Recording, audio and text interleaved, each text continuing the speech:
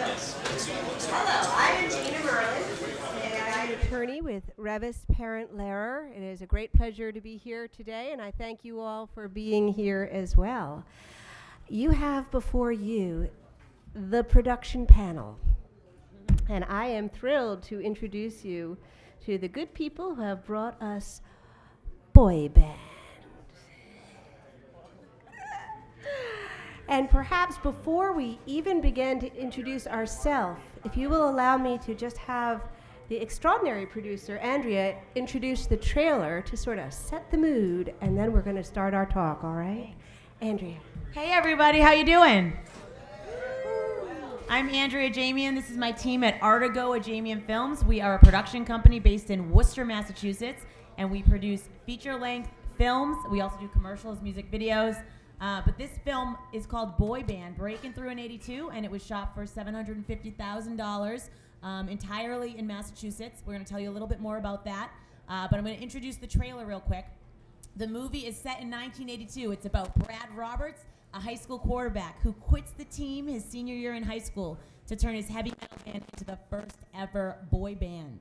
Um, and the film stars Robert Hoffman from Step Up 2 and She's the Man, and Michael Copon from One Tree Hill, Ryan Hansen from Veronica Mars, Enoch and Lorenzo Hooker from um, Status Quo, which was a dance troupe on MTV's America's Next Dance Crew. So we have uh, a nice Hollywood working actor uh, cast. So I hope you enjoy the trailer, and then we will turn it over to Dina. Next. Um, I think you might be a little bit too old for this band. No, no, my, my wife says that from the waist down, I'm like a little boy. I wouldn't advertise that, right? Yeah, You're the top rated quarterback in the country. Virtually every college in the country is after you. It must feel pretty good. I'm not wearing any underwear. Thanks for warning me.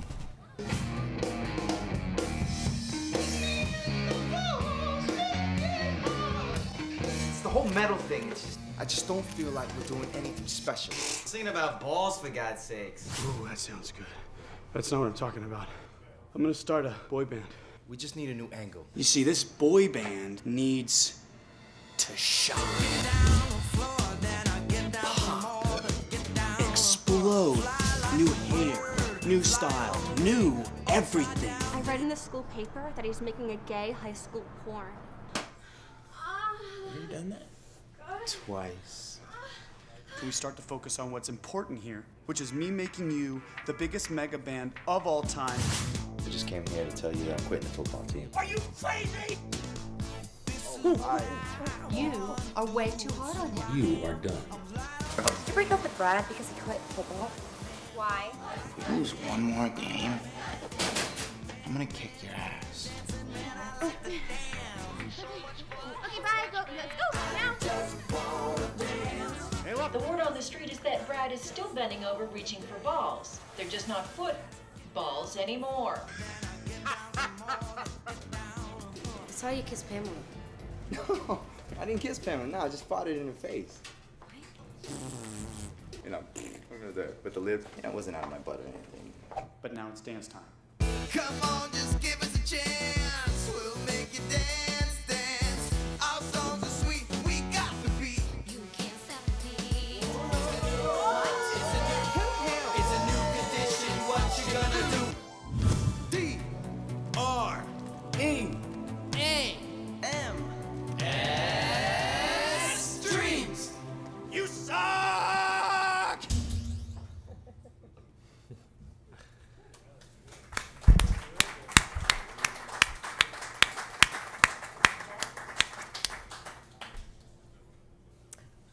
So I read that you posted the third highest gross per screen average in the country when this film opened in June in Worcester. So, congratulations, production team. That's really exciting. Thank you. Um, before I begin, let me just lay down the ground rule that we don't want ground rules. I, I have some prepared questions, but if you all have some spontaneous questions, please, we want this to be informative and go in the direction that you want the conversation to go in.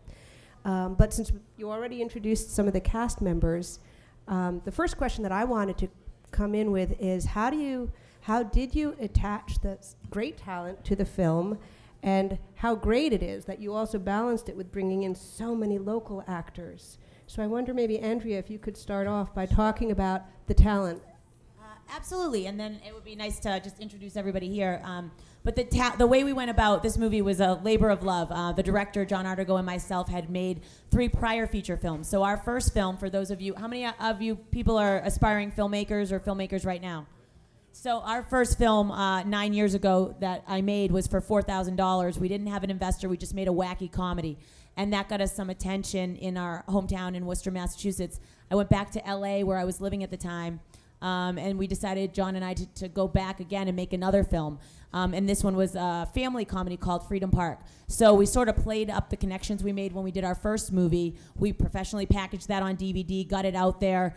Um, and then when we did our second movie, we put in the paper we were having an open audition. And we heard from a, a financial advisor who was interested in financing the film because he was impressed with what we did with our first film. So basically, we showed what we could do with very little money. And then our second film was for $70,000. It was called Freedom Park and it ran for a combined 15 weeks in um, 10 theaters in Massachusetts in the fall of 04. And that was definitely a regional movie, all regional actors. Um, and then we collaborated with our art directors on that film on a drama that we shot in Florida, and that budget was around 300,000. And that was our first movie. That was called Still Green, our first movie with Hollywood talent. So we had a few uh, working, young working actors from Hollywood in that film.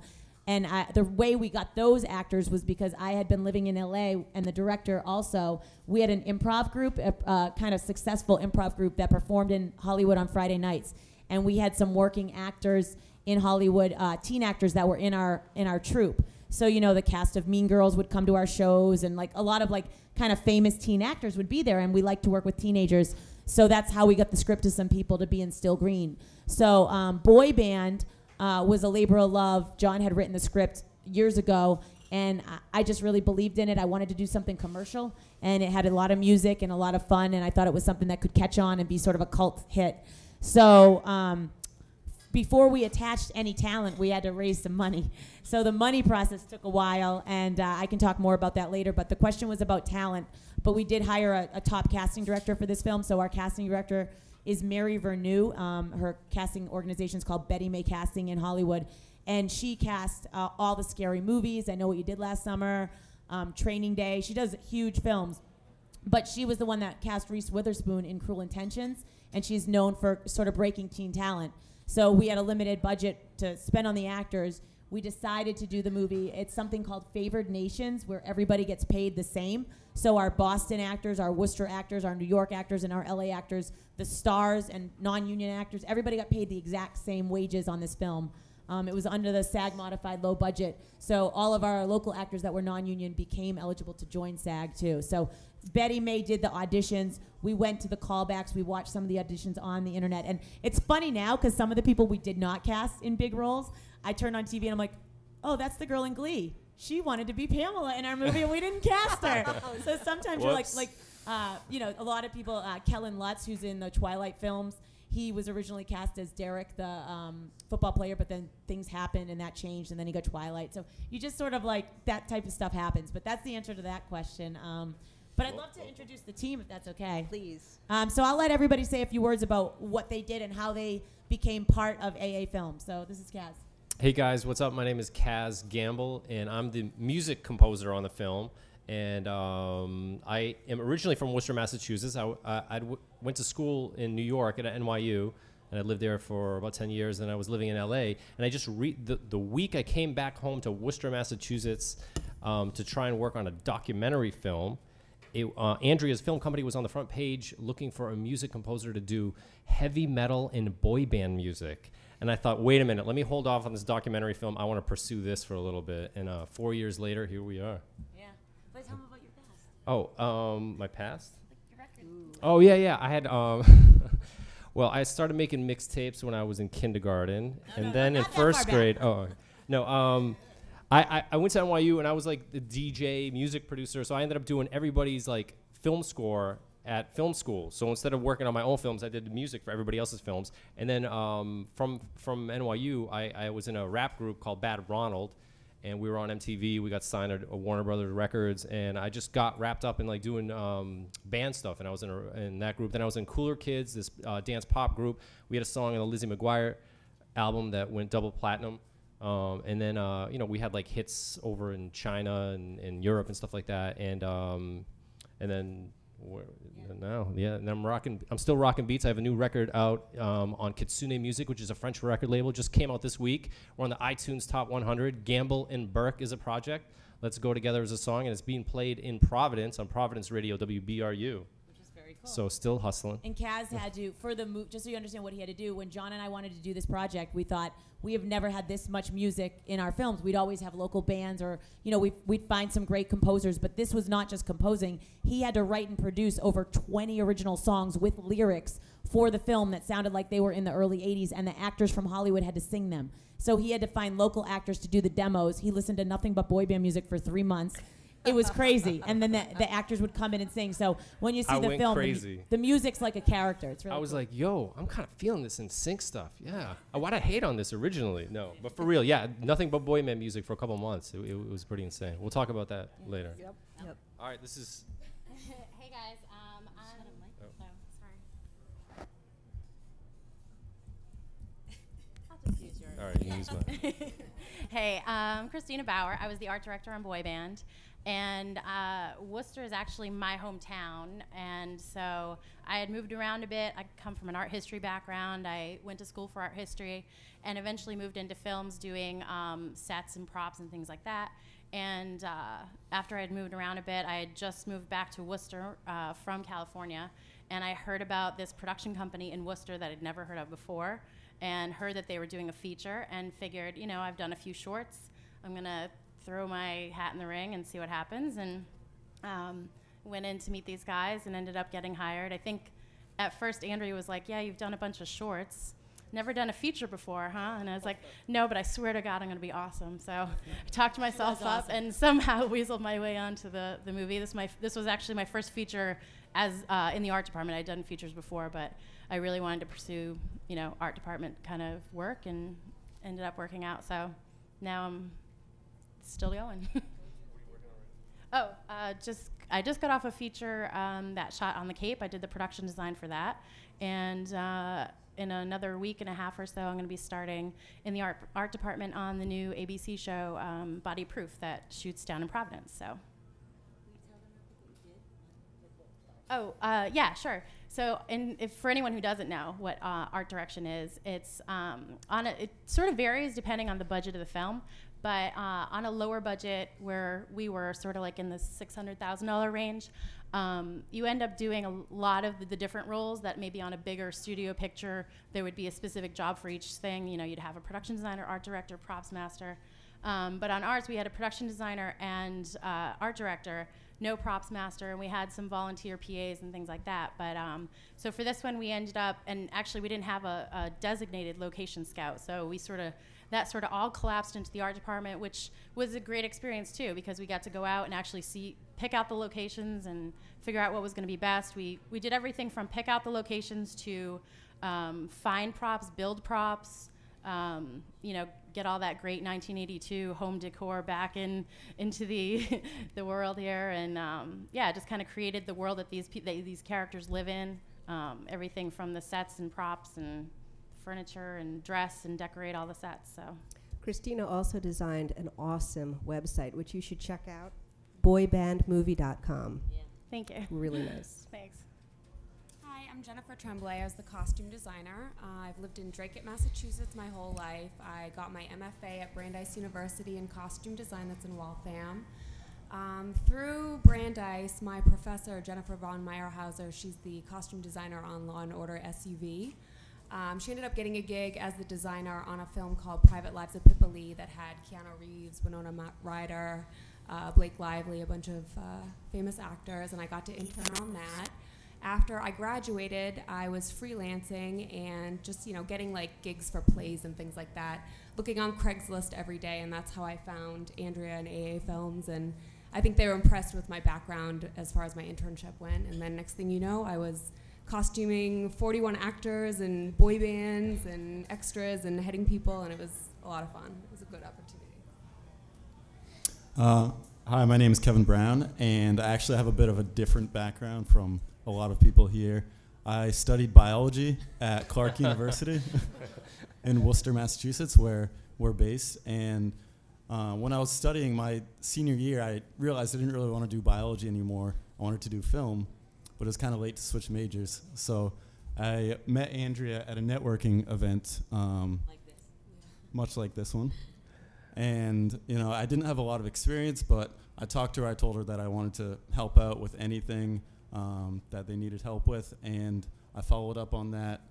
And I became an intern, and I interned there for uh, about a year, and then I was hired to be the assembly editor on Boy Band. So what I did during production um, was I logged and captured all of the footage, um, like the day after it was shot or the day that it was shot, labeling um, each take and scene number and um, angle, all of that stuff. So very tedious work. But then the real fun was when I got to edit the entire rough cut of the movie. And then um, it took about a year after that for Andrea to get the edit where she wanted to. But that was my role in the film. Hi, I'm I'm Christina Lennis, and I was the assistant to the producer. So I was Andrea's assistant on Boy Band.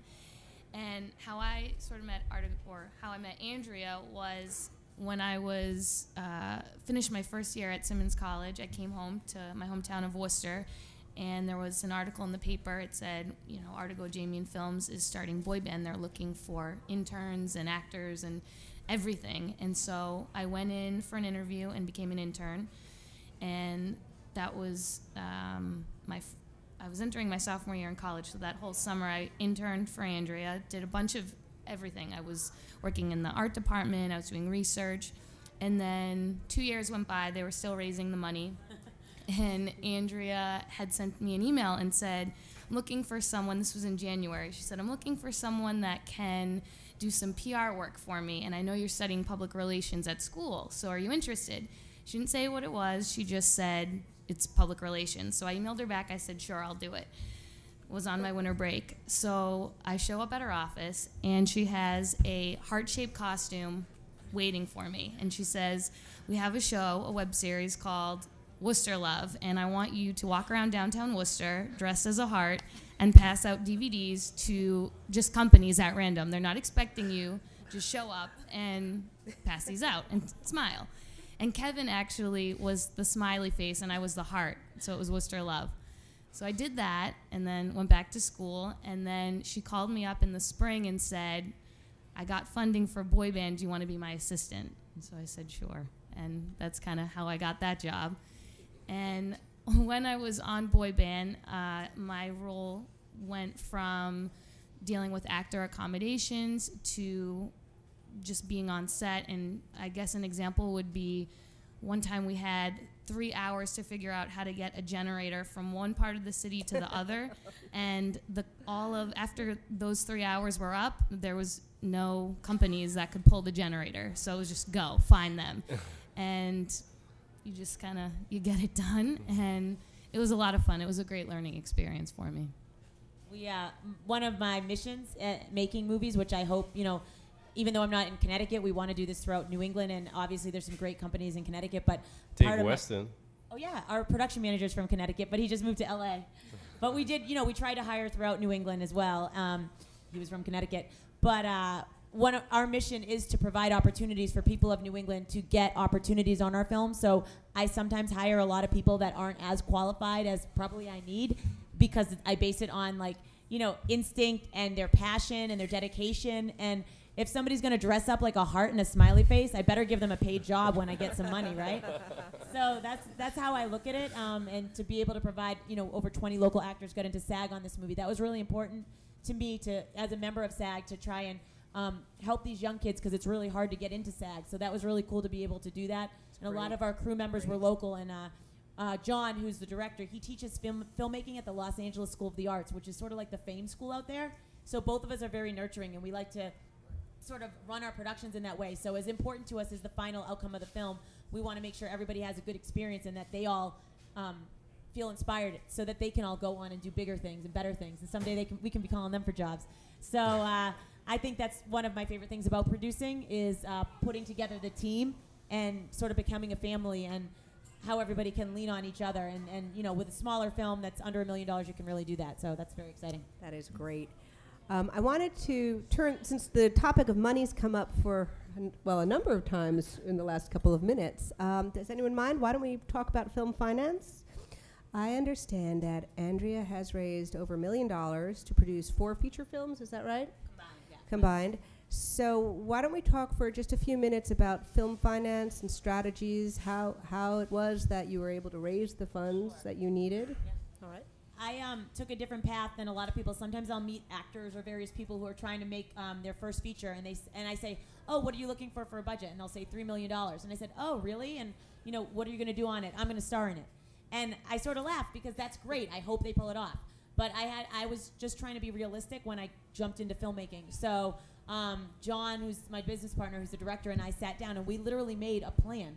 And we said we are going to make a plan to make three feature films in central Massachusetts, and we're going to do the first one for no money. So that's what we did. We were like, who's going to invest in us when we don't have any anything to show? So our first movie, Rutland USA, it um, it's very quirky, it's very fun. Some of the acting's bad, but we made it for four thousand dollars, and we finished it, and we professionally packaged it on DVD. That led to people knowing who we were in the community. And so I was smart and said, well, why should I go to back to LA? Let me try and tap into the money in Central Massachusetts since now I've proven myself a little bit. It did fairly well locally. So that's what we did with Freedom Park. We found one investor. We were very nurturing with that investor. He didn't want to just invest in our corporation. He wanted to start the corporation. He wanted to be involved every step of the way, making the decisions on how the money was spent. I can do that. So we worked with him that way. Every investor is different and they're motivated by different things and we really tried to put together a plan for Freedom Park where it would be a regional success. And then that led to the next one. And so when we did Still Green, um, we found some investors in Central Mass at like 25 or 50 grand who had seen our other films or who had heard of us. And then we went to Florida and we met um, an investor on the beach in Florida. Now that investor didn't invest right away. It took about six months of developing a relationship, going to have meetings with him, flying across the country. But eventually, he put in about $150,000 so that we could finish that film and do post production. With Boy Band, it's a, it was a bit different. With Boy Band, I wanted to produce it on my own, um, and I wanted it to be I start the LLC, I raise the money, let's do it this way. So that's what I did. Um, and as Christina said, she was interning with us in 06, and it wasn't until 08 that we shot the film, and now in, o- in 2010 it's done. So this movie has been in my life for four years. And a lot of people don't have the patience for that. And do I wish it happened faster? Yeah, maybe. But it, that's not the way that it worked. And it took this long because it's a labor of love. And when we first were going to make the film, we had uh, one of our prior investors who was going to put in 250000 and he changed his mind last minute. And I come from the guerrilla filmmaking background. So I had already started. I didn't, you know, tell everyone we definitely have the money. But I had raised $25,000. I started the LLC.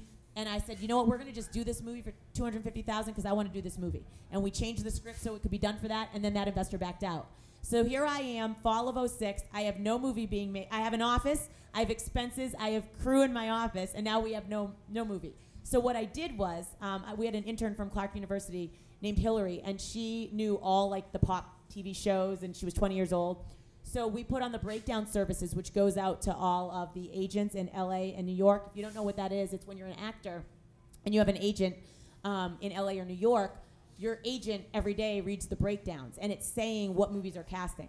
So I put on that in 06 that we were casting this film and that we had $200,000. But we didn't have $200,000. We had no money. But because our prior film was made for a few hundred thousand and we worked with SAG, we got the listing. So we were on the listing. This is going to be on the internet, isn't it great? But Oh, no. we were, that's okay. We- this is how you do it. We were on the listing, and all these different agents submitting their actors. Now they're not submitting their actors hoping your final budget's two hundred thousand. They're submitting their actors because they want you to want the actor and then negotiate, uh, you know, a rate with them. And so Hillary went through and she's like, I think this boy's cute. I think this boy's cute. And she's basically helping me narrow them down. And what I did was I sent John and Hillary on my personal credit card to LA. We, we rented a place to do auditions and we had auditions for the boy band movie. And this actor, Michael Copon, who was Felix on One Tree Hill and he was on That's So Raven and starred in Scorpion King 2 and he's been in all these things, Power Rangers. I didn't even know who he was. But Hillary watches One Tree Hill. So she's like, he's so cute. So Michael wasn't going to come to the audition, even though his agent told him to. His buddy from high school, who like was his entourage sidekick, picks up the script in his car, starts reading it, and says, "Michael, this script is hilarious. You have to do it."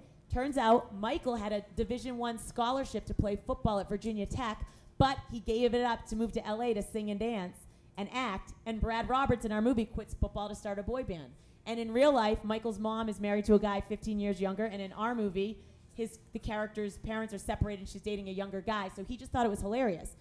So once we cast him, he became sort of a, you know, uh, he was a huge fan of the movie, and he said, "Hey, guess what? I'm friends with Lou Pearlman. Have you heard of him?" I said, "The guy that started the Backstreet Boys and NSYNC. Yeah, I've heard of him." He said, "Well, he's never made any money doing movies. He's done music, but I told him about this and he loves it." Cut to Kaz, me, the director, and Michael flying to Orlando to have dinner with Lou Pearlman in at, his steakhouse. At his pimp steakhouse. Yes, with like wannabe boy band guys there, and Kaz knew his in-house music producer. Yeah. And we were at a table this long, and, and he was sitting at the head of the table, and I was on the inside. So when I had to go to the bathroom, I had to make the guy stand up. I felt so bad. And I was trying to keep up with him drinking Diet Coke. So he'd get one, and I'd be like, oh, I'll get one too. I was trying to be cool with him, like Diet Coke. And it, oh, man. So then. So then, during the whole meeting, I kept like hitting the table, but I find out it was his feet. So I was like playing footsies with Lou Pearlman. that meeting was crazy. Yeah, and so Lou Pearlman says to me at the meeting, "I like the project. I'm not going to finance it for 250,000, but I'll finance it for 2 million." And we're like, "What?" He's like, he goes just like this, but you need to get your Ari Gold, which is a reference to the HBO show Entourage. Basically, he figured he likes our project, but he doesn't know who we are. He wants us to have some high-powered agent. So we're in the office calling ICMCAA. We got this high-powered agent. He loves the project. I fly to Beverly Hills, have him meet with Pearlman. This is going to happen. I'm on the phone with Pearlman's lawyer. Everything's ready. I'm literally on the phone with him. In two days, he's going to put a half a million dollars in our account as the first installment. We hire a casting director. I raised 50 grand so we could get stuff started. She starts sending the script to Justin Timberlake and Charlie Sheen, all these people. And all of a sudden, two days after I talked to him, it's all over the news. He's being indicted. He for $60 million fraud. He flees the country. The FBI seizes his airplane. Oh, man. We're in Worcester going, oh my God. So now we I get a text from my friend. Did you read Yahoo News? I'm like, yeah, I did. Thank you. So we didn't make our movie, and this is after three features. We did not make our movie in 06. Now we didn't make it in 07. So now I'm like, what are we going to do? So now this agent guy's like, we're going to do it anyway. We're going to still make this happen. So he gives me a contract in the spring of um, 07 because I hadn't signed a contract with him, and it says he has two years to raise the money exclusively. But I'm like, wait a second. What if you get mad at me, or you shelve this project, or you change your mind? That means I can't raise any money on my own till 2009. So, and you know, he's an important guy. He had big credits. But I said, why don't we do this non-exclusive? If you raise the money, you get the commission. He said, no, sign it or walk. So I walked because I wasn't going to put. I already had raised like 75,000. I'm not going to chance that my investors are going to have to wait. What if this guy changes his mind? Now I've signed a contract. So I didn't want to do that. So it was back to the drawing board. We had a few random meetings in LA. The whole idea of the um, the film pa- financiers or the, the guys that say they'll take 5%, none of that worked out. And I just said, you know what? I've done three movies. I've raised money. I know how to talk to investors. I'm better now after two years of this. So I'm just going to raise the mo- money locally. What is our passion? Our passion is for the community. So that's what I did. And I went back to the drawing board, and it was a year later, over 80 meetings with random people, calling people. I didn't have one family member or friend invest in this movie. I didn't know any of the investors when I started.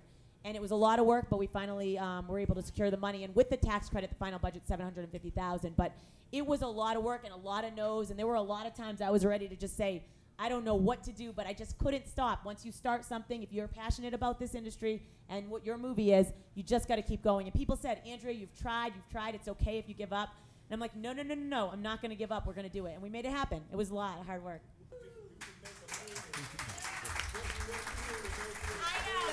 Yeah. Yeah, her, her The the story comment- of making this film is crazy.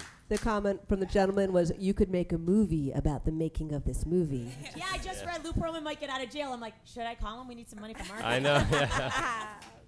hey, Lou, you're out of jail. Remember that movie? It's Yeah, done. we're finished. And hopefully We he need doesn't see marketing this. Yeah.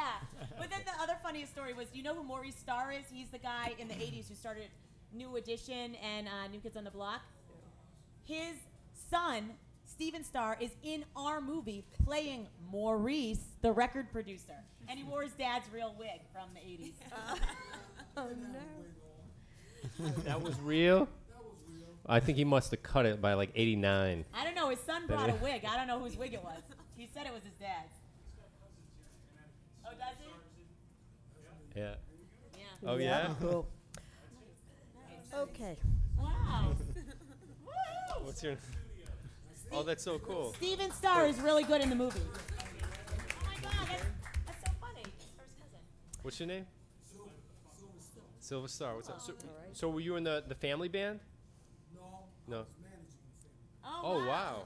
Cool. That's so Cass cool. knows everything from his research about that. Uh, yeah, I you yeah I. you know, that's actually the perfect segue for my next question. Um, because before I became a lawyer, I used to work in concert promotion. And when I first got in the entertainment business, my gig was going out on the road with oldies groups to these rock and roll revivals with, you know, the Drifters, the Coasters, the Platters, Tommy James, the Shondells, Little Anthony and the Imperials, you know, the original boy bands.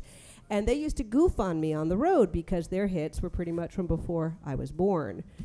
Um, and I look at this panel. Now, I was in college in the 80s, so this actually is my music. Um, and I think about what what it was like for you know Jennifer to design costumes from an era that I assume predates you considerably, or Kaz Well, to. I, was born a year after 1982, so I All wasn't born yet. All right, but, and um, and Kaz also music, that authentic sound. So I wonder if we could spend a few minutes, you know, maybe.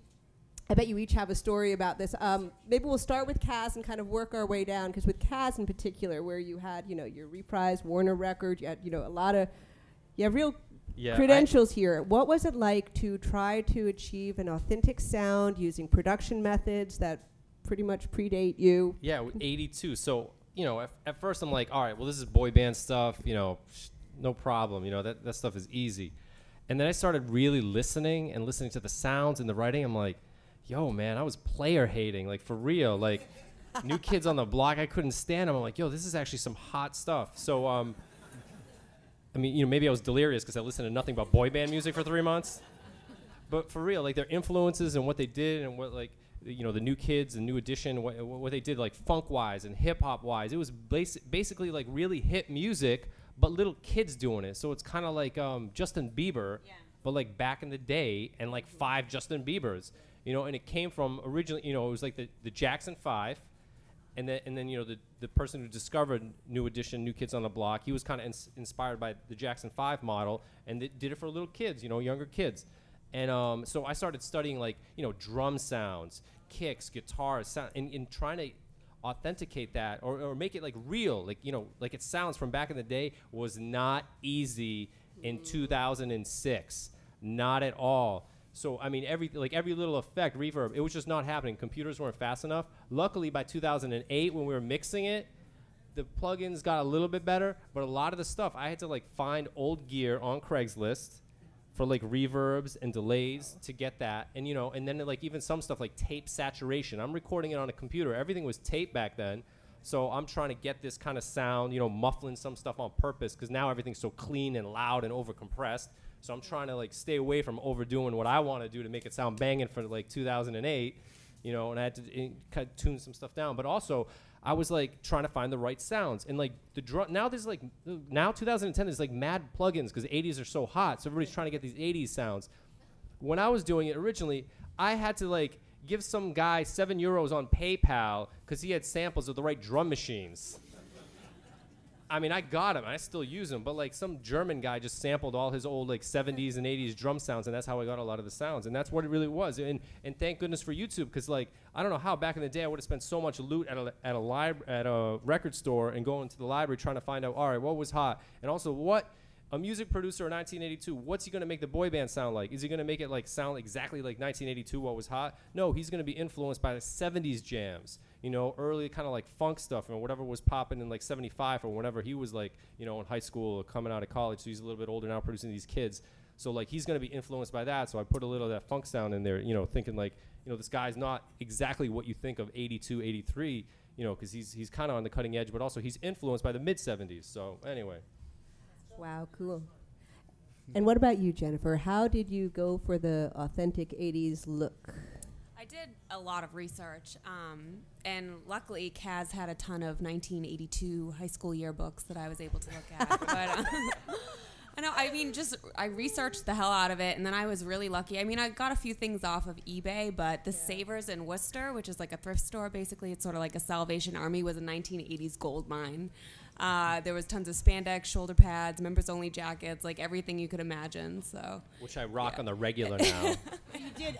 Jen also had a challenge because not only did she have to do all these costumes and make sure hundreds of extras were authentic, but the boy band has like three or four performances in the film, and they had to all have matching outfits, so she had to make those. Yeah, but also like with the boy band stuff, it was really fun because they all have to coordinate, but they also have to have their own individual style as well. Because you have like the rocker, you have the jock, like different personalities, and it was challenging, but probably the most fun to do those costumes, just because I'm like coordinating them as a group, but then also as who they are as their character in the movie.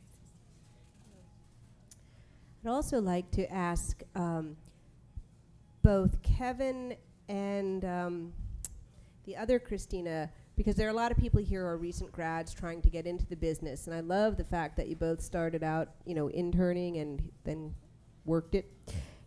Do you have any words of advice for recent grads? um, yeah, I guess my advice would be uh, just try to find the people who are doing what you want to do, uh, contact them, and keep following up. If they say they don't need anyone right at the moment, then uh, ask like a couple months later, something like that, and um, just be really enthusiastic. Put a lot of energy into whatever you're doing, even if it's not exactly what you want to do in the future. Then just be 100% enthusiastic about it and give it your all. Yeah, I agree with that. I mean, I didn't always want to be a heart and walk around downtown Worcester, but I knew it would pay off. No. Uh, but I definitely think uh, it's about making connections and staying in touch with people and just taking any not taking every opportunity that comes your way but looking at the opportunities that come to you and assessing them and figuring out where you are i think if you're a recent college graduate which was the question um, I think you want to figure out what it is you want to do, and if you're not sure, take a chance and and see kind of where that leads, and definitely stay in touch with uh, the people that you work for, or just people that you meet and follow up. And. And I can't speak for all the production companies in New England, but I know the people that I know and the I know the way that I run things is that if somebody's going to spend their time either being an intern or we had volunteers, people in their 40s and 50s who'd come in and volunteer once a week. People are going to volunteer with me and I'm not paying them and they're doing a great job. I get to see what their skills are. So Dave Weston, who's from Connecticut, he was a software engineer for 10 years. He went back to BU to get his master's in screenwriting. He wants to be a screenwriter, but he decided he wanted to learn, you know, more about, you know, the filmmaking side of it. So he started volunteering with me, coming up once a week to my office um, and just getting experience when I raised the money and we finally were able to make the film, he had been volunteering with me for a year. So he quit his job and I gave him a paid job as the production manager. Was he qualified to be the production manager? No. Did he do a great job? Yes. And I we also had an intern, Hillary, the girl that discovered Michael Copon for the role. Um, she was really organized and I she had moved out to LA after the movie and I said, "Would you like to come back and be our first AD?" Most people would not do that. I'm line producing a few films for $700,000 this fall and we're going to be hiring more accomplished first ADs. But when it's my production company, I knew how hard she worked. And I knew that job was a little over her head, but I wanted to give her that experience. And because she was our first AD, she's now in LA and she was accepted to the DGA's um, direct assistant director training program. And they only take like eight people a, a, a session. And she's going up against top film school people. They called me and they couldn't believe that she had this job. And so, like, that's really part of our commitment and I, I would encourage other film production companies out there it's like when you're making a movie whether your budget's $4000 $40000 400000 or 4 million you know really really try to help the community and help people get that experience because they're not going to forget that and then that's going to make them do great projects and want to stay local you know and that's really great because then you can build up a community That's great, great answer. I know we don't have a whole lot of time, and I don't want to hog the floor. So, any any quick questions from the? Uh, yes. Yes, that's a great question. Let me just tell you what we've done since we completed the film. Um, we premiered the film in June. We ran it for a few weeks through the theater chain National Amusement. Uh, they picked it up and we played it at a theater in Revere and in Worcester, and it did very well. They, they are interested in playing it in other theaters, but the dilemma when you're an independent filmmaker if, is how do you have the money to market it? So I don't have the money to market it right now. So I am talking to investors to try and raise more money to market it. We um, we did screen for distributors, and we had some major discri- dis- distributors really like the film, think it's a perfect teen comedy. But it comes back to you have no A-list talent. And I say, well, we have 11 working actors. They're all on TV shows. They've been in major movies, but no one's starring in a movie now. So that I understand that they're reluctant to take the chance. I know that the movie can be a hit with teenagers. It's like that Napoleon Dynamite meets High School Musical type of Glee thing, but that it's on us. It's on the filmmaker. And with today's the way distribution is, it's all about your passion. So what we're doing now is we just played at a film festival, the Hole Film Festival. But what we're going to do is I'm talking to a distributor. I'm about to sign a deal, and this is for video on demand, digital download, um, Netflix, iTunes, and all that.